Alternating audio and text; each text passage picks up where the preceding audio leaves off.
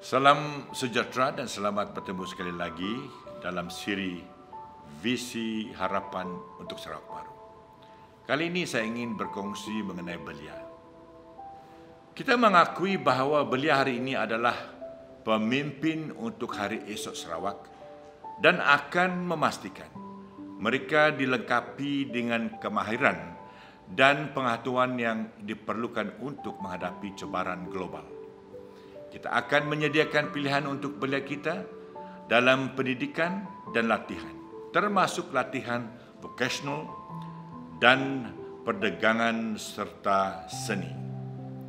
Kita akan menyediakan peluang latihan semula untuk belia yang ingin beralih kepada pekerjaan yang berbeza atau untuk memperbaiki diri mereka.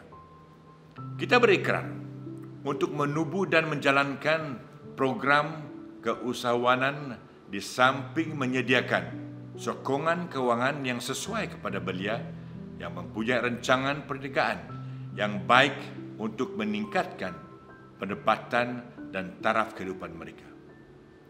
Kita akan menyediakan kemudahan sukan dan rekreasi pelbagai guna serta menjalankan program sukan yang berkesan untuk belia kita untuk menggalakkan penglibatan mereka dalam gaya hidup aktif dan sihat. Kita akan berusaha untuk meningkatkan pemilikan rumah di kalangan rakyat Sarawak melalui penglibatan dengan semua pihak berkepentingan untuk membina dan menyediakan lebih banyak rumah mampu milik.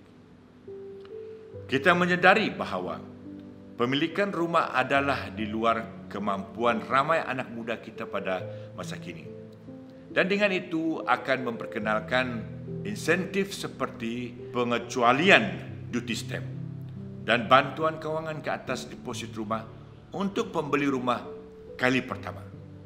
Kita akan menggalak dan menyokong kreativiti belia dengan memperkasakan organisasi belia untuk mempromosi dan menganjurkan aktiviti untuk membolehkan belia menunjuk potensi dan bakat mereka melalui per penyertaan aktif. Kita akan menyokong dan menjadikan sumber untuk belia kita mengikuti perkembangan era teknologi digital dan maklumat melalui program dan inisiatif yang berkaitan dengan menjurus ke arah matlamat tersebut. Sekian, terima kasih.